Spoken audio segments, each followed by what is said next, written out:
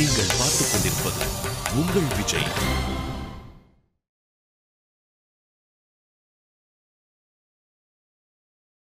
இல்லை மாப்பிள்ள சும்மா நீ அசியப்படுத்தாதடா நான் உன்னை என்றைக்குமே சந்தேகம் பண்ண மாட்டேன்டா. இல்லை மாமா நீ பார்த்தே ஆகணும். அட என்னப்பா நீங்க விட்டா மாத்தி மாத்தி கொஞ்சிட்டே இருப்பீங்க. இப்போ என்ன உனக்கு இந்த நோட்டை செக் பண்ணணும். நீ செக் பண்ண மாட்டேன்ற. அவ்வளவுதானே? ம் கொடு. மாப்பிள்ள. இந்தாம்மா நீ செக் பண்ணி சொல்லு. பயமாக இருக்குமாப்ல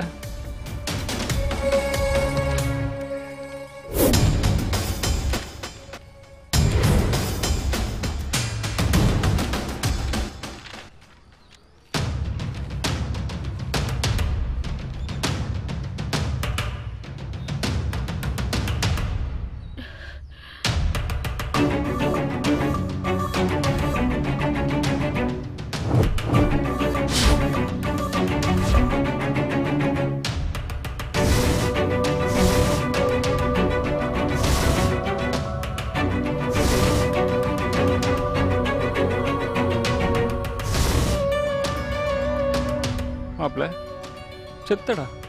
சமரா. கண்டுபிடிச்சிட்டாங்க. இல்லடா. லுக்கே சரியில்லையே மாப்பிள்ள.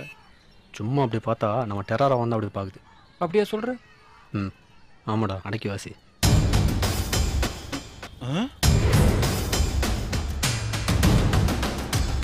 என்ன பாப்பா அப்படி பாக்குற? கையெழுத்து எது மேட்சிங் மேட்சிங் ஆகுதா? ஏலே? கூறு வெட்டவன ஏதோ மாப்பிள்ளை விளையாட்டுக்கு நோட்டை கொடுத்துருக்கீங்க உடனே நீ அதை வச்சு மாட்டி விளையாண்டு பார்க்குறியா அட இல்லப்பா. தங்கச்சி வச்சக்கன்னு வாங்காம நோட்டே பார்த்துட்டு இருந்துச்சு. அதான் கொஞ்சம் சந்தேகமா இருக்கு. என்ன பாப்பு?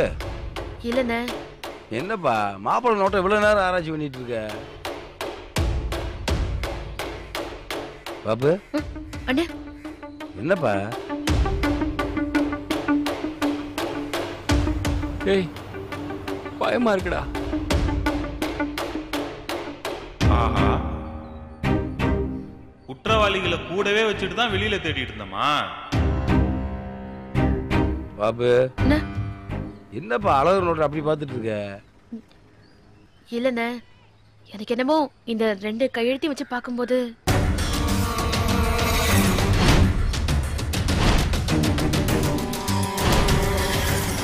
ரெண்டும் ஒரே ஆள் எழுதின மாதிரி என்னப்பா சொல்ற? ரெண்டுமே ஒரே ஆள் எழுதின மாதிரி தெரியலண்ணே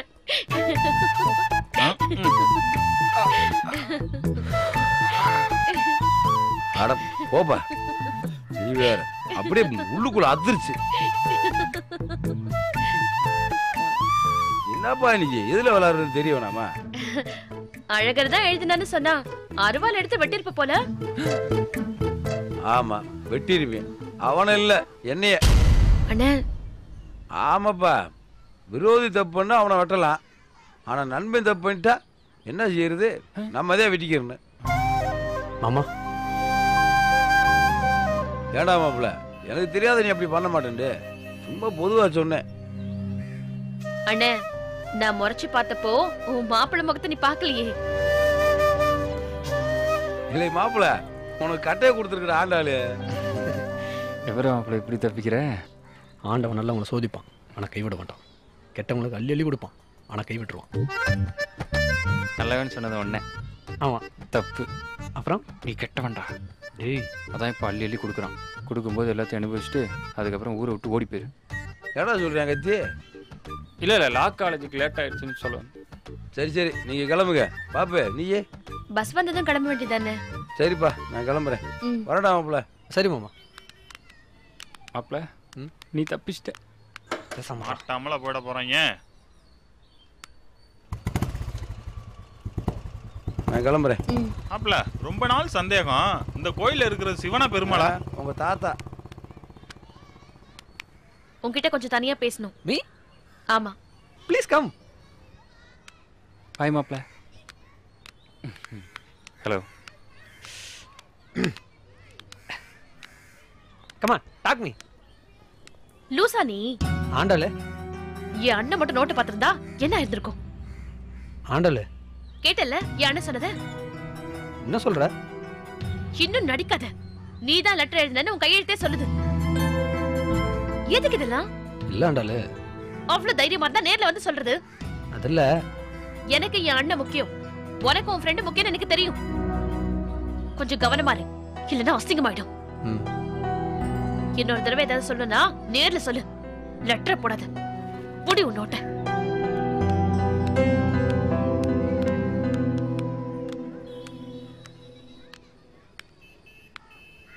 என்னடா சொல்றா?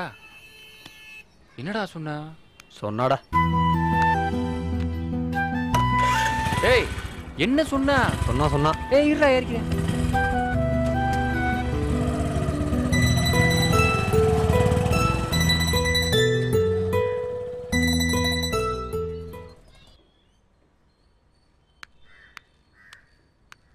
என்னம்மா? இந்த வேலையெல்லாம் நீ பண்ணிட்டு இருக்க என்ன நான் பண்ணக்கூடாதா? இல்லம்மா இதெல்லாம் பண்றதுக்குன்னு இந்த வீட்ல ஒருத்தி இருக்காளே. அண்ணி பாவம் அப்படிலாம் இல்லம்மா. சமையலுக்கு அம்மா மத்தபடி மேற்படி வேலைக்கெல்லாம் உங்க அண்ணி. அப்ப நான் என்ன பண்றது? படிமா நல்லா படி. நீ கலெக்டர் ஆகி அந்த பையில மூஞ்சில கரிய பூசணுமா அது மட்டும் நீ பண்ணா போதுமா இந்த இலக்கட்டுற நேரத்துல இன்னும் ரெண்டு பக்கம் நீ படிச்சிருக்கலாம்லம்மா. நீங்க கவலைப்படாதீங்க என்ன நான் படிக்கிறேன் கலெக்டர் ஆறேன். அது போதுமா எனக்கு. ஏய் காலங்காத்தால எங்கடி போயிட்டு வர? ஏய் எங்கடி போயிட்டு வரேன்னு கேக்குறேன்ல? எங்க போயிட்டு வரேன்னு கேட்காதீங்க. போயிட்டு ஏன் உசுரோட வரேன்னு கேளுங்க. என்னாச்சு இவளுக்கு? ஏய்!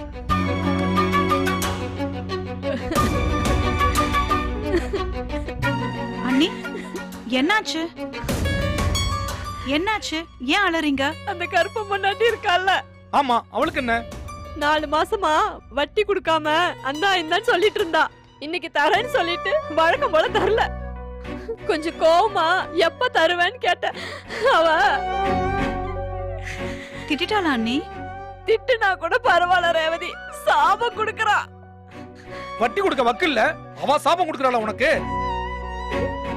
என்ன சொன்னாங்க? இப்படி அநியாய வட்டி வாங்கி சேர்க்கறதுனாலதான் அதை அனுபவிக்கிறதுக்கு உனக்கு புள்ள இல்லைன்னு சொல்லி திட்டுறா ரேவதி.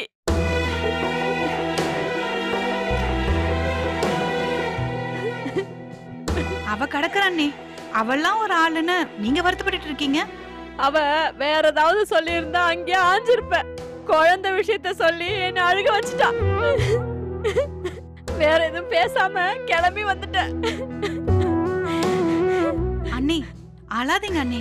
அவ சொன்னா அது பழிச்சிருமா? சீக்கிரமே உங்களுக்கு அழகான புள்ள பிறக்கும். அதை நான் என் மடியில போட்டு வச்சுட்டு மருமவனேன்னு கொஞ்சம் தான் போறேன். பாத்துக்கிட்டே இருங்க.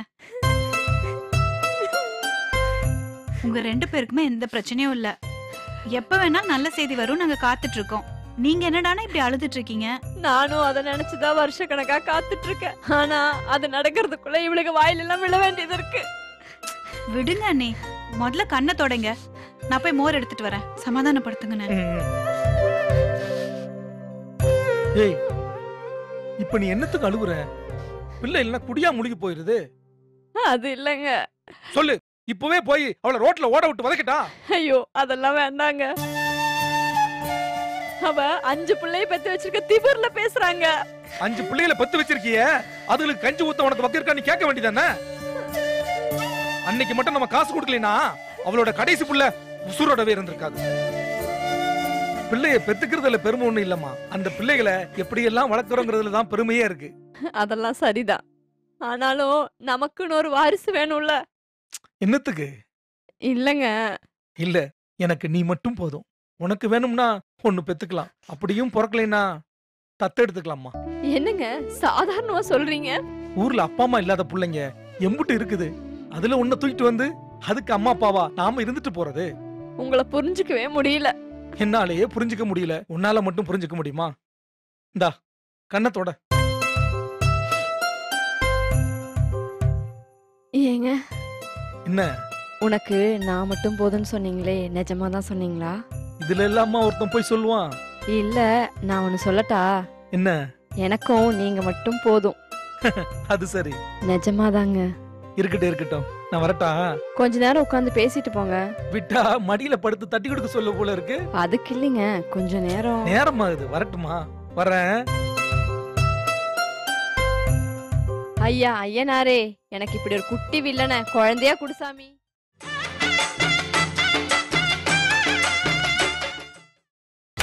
நீங்கள் பார்த்துக் கொண்டிருப்பது உங்கள் விஜய்.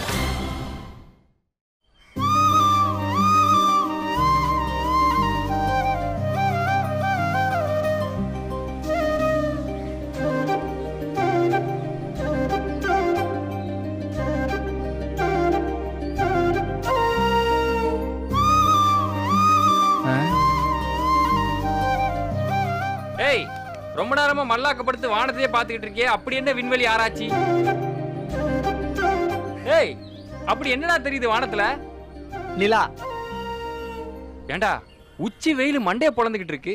நீ என்னடானா மல்லாக்கப்படுத்திக்கிட்டு நிலாவை ரசிக்கிறேன்ற? நிலாடா? எங்க? நிலா வந்தாச்சு. அடடா தூள் விக்கிற மாதிரி இருந்தானே. இப்ப தெய்வ திருமகள் விக்கிற மாதிரி ஆயிட்டானே. நிலா நிலா ஓடி வா. நில்லாமல் ஓடி வா. மலை மீது ஏறி வா மல்லியப்பூ கொண்டு வா. இத நீ கரெக்டா இருபத்தஞ்சு வருஷத்துக்கு முன்னாடி படிச்சிருந்தீங்கன்னா எல்கேஜில ரெண்டு வருஷம் படிக்காம இருந்திருக்கலாம். ஏய் ஒழுங்கா வண்டி விட்டு இறங்கடா. என்னடா? என்னடா? சொல்லிட்டாளே அவ காதல. சொல்லும் போதே சுகம் தாழல. இது போல் ஒரு வார்த்தைய யாரிடமும் நெஞ்சு கேட்கல. இவன் தொல்லை தாங்க முடியலையே. நீ தானே சொன்ன? என்ன சொன்ன? அது இது நீ தானே சொன்ன? ஆமா சொன்னேன் நான் ஒன்றும் இல்லைன்னு சொல்லலையே. இன்னொரு வாட்டி சொல்லு. சொல்றா. ஆண்டாளுக்கு உன் மேல ஒரு இது இருக்கு. எது இருக்கு? அன்பு பாசம் நேசம் பியார் பிரேமம் அஹ், சிநேகம். மல்டி லாங்குவேஜ்ல சொன்னியே. எங்க? தமிழ்ல சொல்லு. ஆண்டாள் உன்னை காதலிக்கிறா. டேய் பொய் சொல்ல வரா இந்த கத்தி எப்பவுமே போய் சொல்ல மாட்டான். அன்னைக்கு நான் உன்ட்ட என்னடா சொன்னேன்? என்ன சொன்ன? லெட்ரு உங்க மாமா கையில கிடைச்சா பெரிய பிரச்சனை ஆயிரும் அது நீ உங்க மாமாவுக்கு பண்ற ஒரு பெரிய நம்பிக்கை துரோகம். காதலை விட நட்பு தான் பெருசு. அப்படி இப்படி. அதெல்லாம் நான் சொன்னேன்டா. நீ அப்படிதான் சொன்ன. அதுக்கு நான் என்ன சொன்னேன்? ஏன்டா இவ்வளவு அக்கறையா இருக்கிறவன்? எதுக்கு இந்த காதல் கன்றாவெல்லாம் பண்றேன்னு உனக்கு காரி துப்புல? ஆமா. ஆனா இன்னைக்கு எதுக்கு நாங்க சப்போர்ட் பண்றேன் ம். ஏன்னா ஆண்டாளும் உன்னை லவ் பண்றா. அப்ப மட்டும் நீ சொல்ற லாஜிக் கிடைக்காதா மாப்பிள விருப்பம் இல்லாத பொண்ணுக்கு நீ ரூட்டை கொடுத்து அதனால உங்க ஃப்ரெண்ட்ஷிப் பிரிஞ்சாதான் தப்பு. இப்ப அந்த பொண்ணுக்கே உன்னை பிடிச்சிருக்குங்கிறப்ப நீ நேரா போய் உங்க மாமா கிட்ட கேட்கலாம். மாமா எனக்கு பொண்ணை பிடிச்சிருக்கு பொண்ணுக்கு என்ன பிடிச்சிருக்கு அதனால பொண்ணை கொடு மாமா அதனால பிரிஞ்சு கிடக்க நம்ம ரெண்டு குடும்பமும் ஒன்னா சேரும் நச்சுன்னு கேட்டேன்னு வையே. அருவாள் எடுத்து நச்சுன்னு ஒண்ணு போட மாட்டாரா? ம் மாட்டார். நேரா ஆண்டாளை கூப்பிட்டு what is the love matter Azhagar is talking அப்படின்னு கேட்பாரு அதுக்கு ஆண்டாள் சொல்லும் this is this and that is தட்னு அதோட விருப்பத்தையும் சொல்லும்.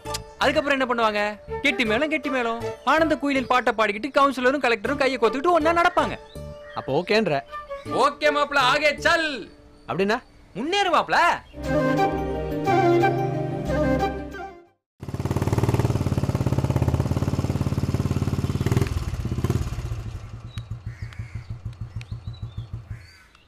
மாப்ள பாபு என்னண்ணே ஏப்பா உன்கிட்ட இந்த ப்ரெஷர் பார்க்குற மிஷின் இருக்கு. இருக்கே. அப்படியா? ஆமாண்ணே. ஏன் கேக்குற? அது எனக்கு கொஞ்சம் வச்சு பார்க்குறியா மிஷின்லாம் எதுக்குண்ணே? நான் மூஞ்ச பார்த்தே ப்ரெஷர் சொல்லிடுவேன். அப்படியா? ஆமாண்ணே. ஆம், எங்க எனக்கு எப்படி இருக்குன்னு சொல்லு பாப்போம்.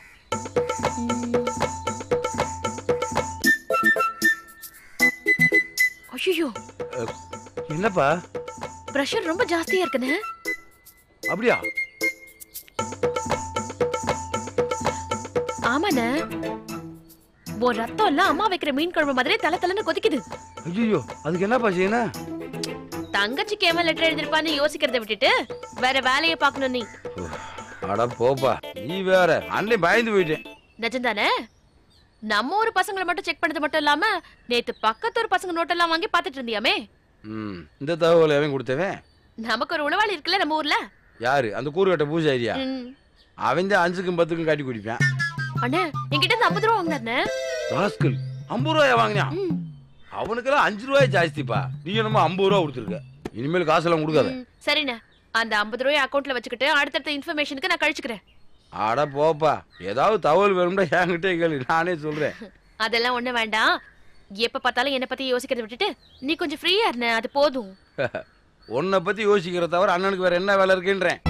சீக்கிரமா உனக்கு கல்யாணத்தை பண்ணி வச்சு உனக்கு பொண்டாட்டி புள்ளன்னு வந்தாதான் நீ என்ன பத்தி யோசிக்கிறதே நிறுத்துவ.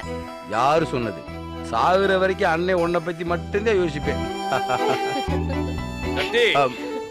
ஐயா உள்ளதே இருக்காரா? ஐயா இந்த வந்துட்டீங்க. வணக்கம். ஐயா. வண்டி சத்தம் கேட்டு ரொம்ப நேரம் ஆச்சே. சும்மாதாங்க ஐயா ஆண்டாளோட பேசிட்டு இருந்தேன். வணக்கம். நம்ம நாராயணமூர்த்தி முக்கியமான விஷயம் பேசுறதுக்காக வந்திருக்காரு. என்னங்க? மூர்த்தி ஐயா. நீங்களே சொல்லுங்க. தம்பிக்கு தெரியாதது ஒண்ணும் இல்ல. ஊர் கட்டுப்பாட்டுக்கு நாலு கோயில் இருக்கு. அந்த நாலு கோயிலுக்கும் ஐயா தான் பொறுப்பாளரு. அதான் நல்லா தெரியுமே. அந்த பொறுப்புல இருந்து விலகிறதா ஐயா போன தடவையே சொல்லிட்டாரு. ஐயா என்ன ஐயா? போதும் சக்தி.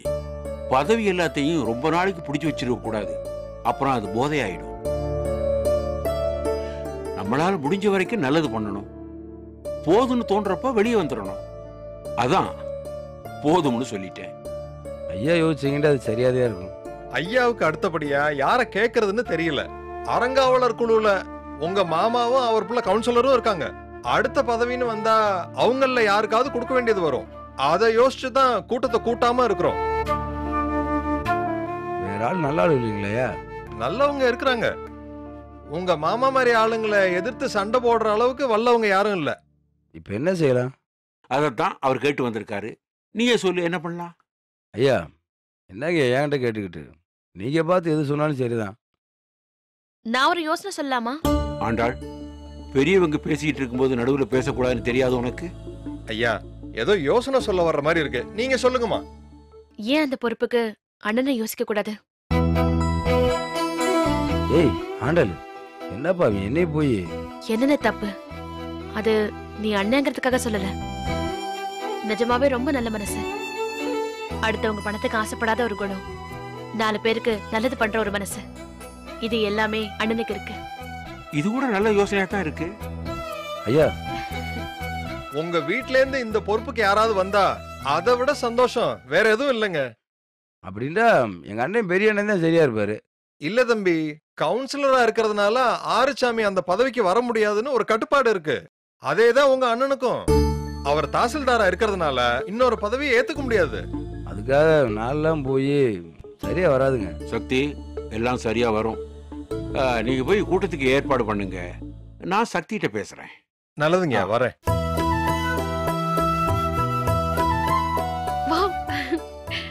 சக்தி. பதவிங்கிறது சந்தோஷம் இல்லை அது ஒரு பெரிய பொறுப்பு. நீ விளையாட்டு பிள்ளையா சுத்திக்கிட்டு இருக்க அதை நானும் கண்டிக்க மாட்டேன்னு எல்லாரும் சொல்லிக்கிட்டு இருக்காங்க. இப்போ உனக்கு பொறுப்பு கொடுத்துருக்கேன். எனக்கு நம்பிக்கை இருக்கு. நீ அதை நல்லா பண்ணுவேன்னு. ஆனா எனக்கு பயமா இருக்கீங்கய்யா உன்னைய நம்பு. நீ நல்லா வருவ. நீ நல்லவன்டா. ஐயா. என் பேச்சுல உனக்கு நம்பிக்கை இருக்குல்ல? ம். உன் தங்கச்சி ஒரே செகண்ட்ல உனக்கு ஒரு பெரிய பதவி வாங்கி தந்துட்டா பாரு. இவதான் உனக்கு அதிர்ஷ்ட தேவதை.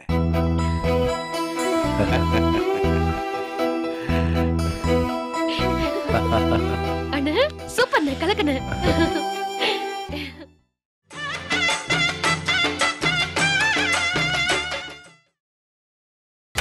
நீங்கள் பார்த்துக் கொண்டிருப்பது உங்கள் விஜய். ஏங்க என்ன? வார்டு மீட்டிங் போற மாதிரி வெறப்பா வரீங்க. கொஞ்சம் பொண்டாட்டி கூட வர மாதிரி வரலாம்ல. உங்க கூட வரும்போது குழஞ்சிட்டு வரணுன்றியா குழைய வேண்டாம் கொஞ்சமாச்சு இழையலாம்ல. என்ன இது பப்ளிக்ல? ஆத்தி ரொம்ப தான் கூச்சப்படுறீங்க. ஒரு பொறுப்புல இருக்கிறவனா பொது இடத்துல இப்படித்தான் நடந்துக்கணும்னு ஒரு இது இருக்கு. புருஷங்கிறதும் ஒரு பொறுப்பு தான் அதை மறந்துடாதீங்க. சரி இப்போ என்ன வேணும் உனக்கு? கொஞ்சம் பூ வாங்கி தரது. கொஞ்சம் என்ன? நிறையவே வாங்கி தரேன். வா. இந்தாம்மா. தம்பி. பூ என்ன விலை? உங்ககிட்ட என்ன கேட்ட போறேன்? நீங்க குடுக்கறத கொடுங்க. இந்த டக்கால்ட்டி வேலைலாம் என்கிட்ட வேணாம். முதல்ல பூ என்ன விலைன்னு சொல்லு. முழம் இருபது ரூபா. ஏமா பூ என் பொண்டாட்டி தலையில வைக்கிறதுக்கு கேட்டேன். என் காதுல வைக்கிறதுக்கு இல்ல. இதுவே நான் நஷ்டத்துக்கு தான்ப்பா விக்கிறேன். ஆமா கிராமத்து பொம்பளைங்க எல்லாம் பூவோடையும் பொட்டோடையும் இருக்கணுன்றதுக்காக நீ நஷ்டத்துக்கு வித்து சேவை செய்யறியாக்கும். என்னம்மா கவுன்சிலர் இப்படி பேசுறாரு? ஆமா பேச மாட்டாங்களா? உதவின்னு வந்தா எம்பிட்டு வேணாலும் தருவாங்க. ஆனா ஒத்த பைசாவை ஏமாத்தி வாங்க முடியாது. சரிம்மா. ஆறு முழமா இருக்கு. அப்படியே எடுத்துக்கோங்க. வாங்கிக்கோமா இந்தா. கொடுங்க. என்னங்க? இப்போ என்ன? பூ மட்டும் வாங்கி கொடுத்தா போதுமா? வச்சு விடுங்க. ம், அதெல்லாம் முடியாது. அட வச்சு விடுங்க கவுன்சிலரே. உன்னோட பெரிய தொல்லையா இருக்க. சரி ஏய், இதை எப்படி வைக்கிறது? பின் இருக்கா? உங்ககிட்ட இல்லையா? இங்க பாரு கொண்ட ஊசியமா கூட வச்சுட்டு சுத்திட்டு இருப்பாங்க. நம்ம நிச்சயத்துக்கு அப்புறமா என்ன பார்க்க பூ வாங்கிட்டு வந்தீங்க. ஞாபகம் இருக்கா? பூவோட சேர்த்து ஹேர் பின்னும் கொண்டு வரல? அது அப்போ ஏன்? இப்ப என்ன? அட என்ன சும்மா பழசெல்லாம் சரி பேசிக்கிட்டு வச்சு விடுங்க. யாராச்சும் பார்த்தா என்ன ஆகும்? ஒன்னும் ஆகாது. கவுன்சிலர் குடும்ப பாங்கானவர்னு சொல்லி ரெண்டு ஓட்டு எக்ஸ்ட்ரா விழும். அது சரி திரும்ப.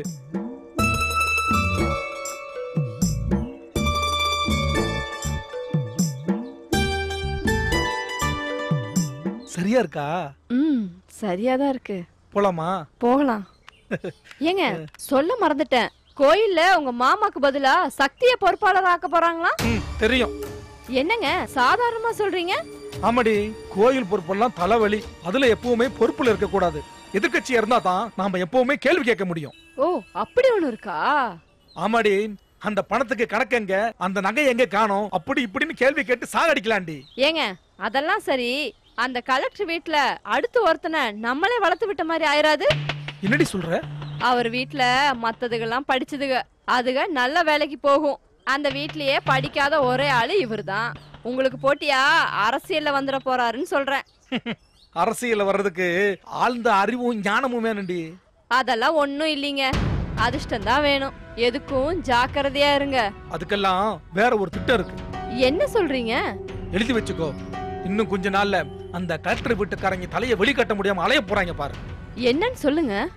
உனக்கு ஓட்டவாயி எங்கேயாவது வளரி கொட்டினா சிக்கலாயி போகும் ஏன் நான் தான் ஓட்டவாயா? நீங்க ஓட்டவாய் இல்லையா? ஏய் என்னடி சொல்ற? இப்போ என்கிட்ட உளரலையா நீங்க? பாக்கியும் சொல்லுங்க ஒண்ணும் ஆகாது. உன் கொழுந்தனை வச்சுதான் அந்த வீட்டுக்கே ஒரு வேடிக்கை காட்ட போறேன். அவர்தான் அந்த வீட்டுக்காரங்களோட கொஞ்சிக்கிட்டு இருக்காரு. ஆமாடி உறவாடி தான் கெடுக்கணும். என்ன பண்ண போறாரு? என்னன்னு சொல்லுங்க. கிட்டவா